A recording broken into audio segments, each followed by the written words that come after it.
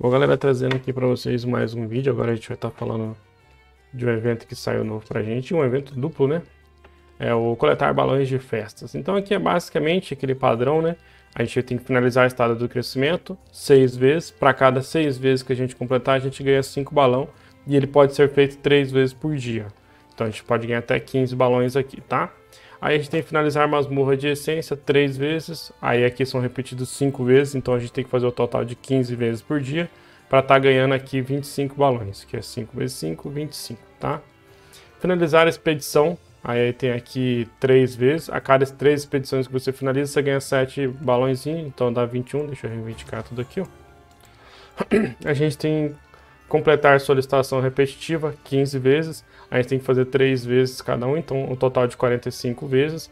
Para cada um, para cada vez que você completa 5, então dá o um total de 15. E tem que participar do evento de campo 3 vezes, uma vez por dia. Lembrando que esse evento de campo aqui, galera, são esses eventos que vão aparecer aqui, ó.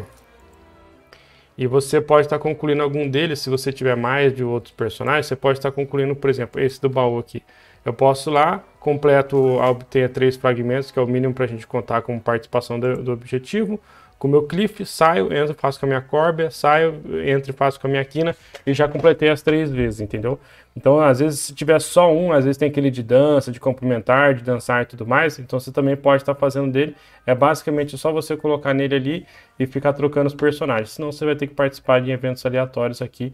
Lembrando que, por exemplo, se você participou do baú com cliff nesse, você não consegue participar nem nesse nem nesse, que é uma participação por personagem por evento atualmente, tá? Aí depois aqui a gente vai conseguir esses balões e a gente vai gastar esses balões aonde? Você pode clicar aqui ir para o bingo surpresa, ou basicamente só você clicar aqui que ele já mostra também. Ó. É basicamente aqui, a cada 20 balões que você acumular, você vai gastar aqui ou trocar e ele vai roletar aqui no bingo, tá?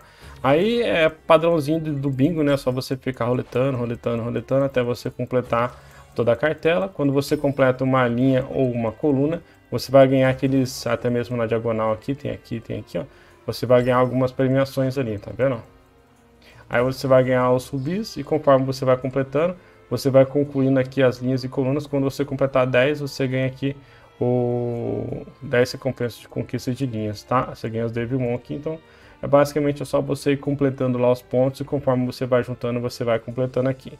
Pelo que eu tô vendo aqui, não tem nada de muito complicado não. Acho que o que mais vai dar um pouco de trabalho é essa expedição aqui, né? Porque a gente ganha duas entradas por dia, mais uma da diária, vamos entender que a gente ganha três por dia. E você tem que dar os refis, os refis ali são muito caros. É, acho que você precisa fazer os três refis, são 900 subir para você estar tá fazendo eles, tá? Então, como se fosse 900 cristais por dia. Aí você tem que ter um pouco de estoque armazenado aí de rubi, né? Porque daí também você vai ganhar um pouco aqui, tá? Para diminuir um pouco aí a, a, perda ali. E você vai ganhar aqui os 10 Devil Mons, que pelo que tá falando aqui são 10 Devil Mons que a gente vai estar tá ganhando, tá? Então só concluir, então eu consegui uma, duas... Aqui no caso eu consegui uma, duas, três, quatro. Então se você completar a cartela inteira, dá 10, você completou uma cartela, você ganha Devil Mon, tá? Isso aqui, depois de você completar, acredito eu que a cartela vai resetar, mas você não vai ganhar mais, tá? é só a primeira vez, é o padrão dos bingos, né? A recompensa que tá aqui normalmente você ganha uma vez, depois você não ganha mais, tá? Então, atentar é para concluir todos os dias. Lembrando, quem tem o passo do invocador aqui, né? Obter o dobro de recompensa de missões de entrada, descrescimento e masmorra. Então, nesses dois aqui, ó, você vai ganhar o dobro da recompensa aqui. Em vez de você ganhar 5 em cada, você vai ganhar 10 em cada aqui beleza? Aí já vai facilitar para a galera que tem passe aí para estar tá concluindo mais rápido, vai ganhar a mesma quantidade, daí Devil mas vai conseguir fechar mais vezes as cartelas para conseguir os recursos que estão dentro dela aqui e também esses rubis aqui na borda, beleza? Se tem alguma dúvida, alguma pergunta, deixa aí nos comentários, também cola no Discord lá para gente trocar uma ideia depois e falou! Ajude o canal a crescer se inscrevendo, deixando o seu comentário, avaliando e compartilhando, porque é muito importante para o canal. Assim podemos trazer mais vídeos com mais qualidade. Obrigado por você que assistiu o vídeo até o final e assista outros vídeos no canal.